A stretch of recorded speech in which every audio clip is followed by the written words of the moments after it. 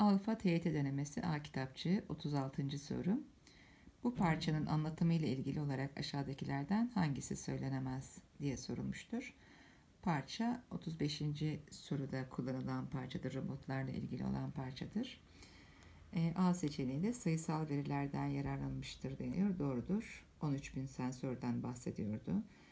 E, yapay derinin e, sayısal bir ifadesi vardı. Çapı yaklaşık 2,5 santim şeklinde örneklemeye başvurmuştur. Robotun yapmış olduğu işlerden ya da hmm, fonksiyonlarından örnekler verilmiş yapabildiği işlerden.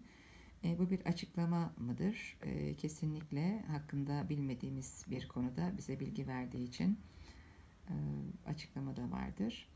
E, karşılaştırma var mıdır? Evet. İnsana benzetilen bir robot vardır. Robot ve insan karşılaştırması da vardır. E seçeneğinde tanık göstermeden yararlanmıştır deniyor. Tanık gösterme yoktur. Tanık gösterme yazarın iddia ettiği görüşü perçinlemek adına sözüne daha güvenilir olan başka birinin sözünden yararlanması gerekirdi. Böyle bir durum söz konusu değildir. E seçeneği doğru cevap.